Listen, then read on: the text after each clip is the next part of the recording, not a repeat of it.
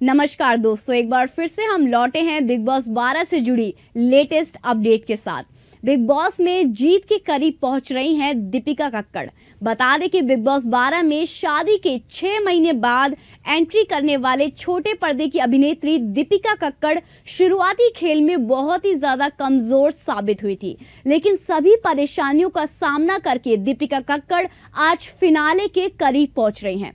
बता दें कि बिग बॉस 12 जो सीज़न है, इसका फिनाले आने में बहुत ही कम समय बचा है, यानी कि बहुत ज़्यादा नज़दीक है फिनाले।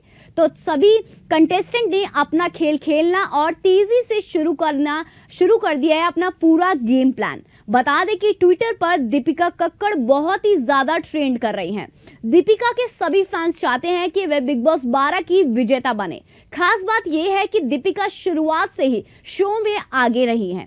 और अपने तेज तरार और एटीट्यूड जो उनका स्वभाव है, उससे एक अहंकारी मतलब कहलाई गई हैं। लेकिन खास बात यह है कि दीपिका को शो के फिनाले तक ले जा रही है यही उनकी बात। बता दें कि बिग बॉस 12 में दीपिका कक्कड़ का श्रीशांत से रिश्ता बनाए रखना बहुत ही ज़्यादा फ़ायदेमंद साबित हुआ है। इससे श्रीशांत के फैंस में दीपिका के लिए हमदर्दी पैदा हुई है। दीपिका कक्कड़ और श्रीशांत के बीच भाई बहन का रिश्ता है, जो बिग बॉस के घर के अलावा बाहर भी बहुत ही अच्छा और बहुत ही सच्चे तरीके से फ़ेमस हो रहा है। बिग बॉस के घर के सभी सदस्य ने इस रिश्ते को तोड़ने की कोशिश की, लेकिन दीपिका किसी की बातों में नहीं आई। बता दें कि दीपिका कक्कड़ छोटे पर्दे के मशहूर अभिनेत्रियों में से एक हैं। सोशल मीडिया पर इनकी जो फ़ैन फॉलोइंग है, बहुत ही ज़्यादा है। इनके फैंस का ये मानना है कि बिग बॉस 12 की विजेता दीपिका ही बनेगी। बिग बॉस 12 में दीपिका कक्कड़ के कैप्टन बनने से बहुत ही ज़्यादा लोग खुश हो गए थे और उनका जो भी सफ़र रहा है, यानी कि वनडे से अब तक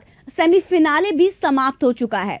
तो अब जो ये सिलसिला उनका घर में रहा है या फिर जो भी उनका सफ़र रहा है, बहुत ही ज़्यादा मज़ेदार रहा है। और कहीं ना कहीं हमेशा हर एक सदस्य ने उन पर उंगली उठाई है और बहुत सारे आरोप लगाए।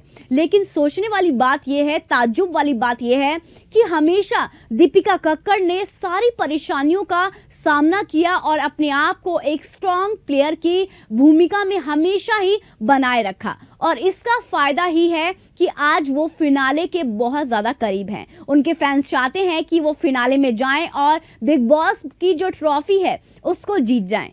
ऐसा तो वैसे सभी के फैंस चाहते हैं सुशांत की भी फ़ैन फॉलोइंग बहुत ज़्यादा है। उनके फैंस भी चाहते हैं सोशल मीडिया पर सुशांत के फैंस ने तहलका मचाया हुआ है। यानी कि हर कोई ये चीज़ अपने आप को ये चीज़ बताना चाहता है या फिर कहना चाहता है कि विजेता बने तो सुशांत बने और कोई ना बने। रोमिल चौधरी की बात करें तो रोमिल चौधरी के फैंस हैं। वो उनके बारे में बोलते हैं कि वो फैंस वो विजेता बने। लेकिन हम आपसे जानना चाहते हैं कि आपकी क्या राय है और आपकी नज़र में कौन सा कंटेस्टेंट सही जा रहा है और किसका, किसको आखिरकार ये ट्रॉफी मिलनी चाहिए? बिग बॉस 12 का जो खिताब है, वो किसके नाम होना चाहिए? आपकी जो भी राय हो, आप कमेंट्स में लिखकर हमें बता सकते हैं। हम जल्दी लौटेंगे बिग बॉस 12 की लेटेस्ट अपडेट लेकर और बहुत सारे ट्विस्ट के साथ। Thank you so much keep watching today's for more news channel को सब्सक्राइब करना ना भूलें। इसके साथ साथ टुडेज के ऐप को ज़रूर डाउनलोड करें। उस पर आपको हमारी सारी वीडियोस नज़र आएँगी। इसके साथ साथ आप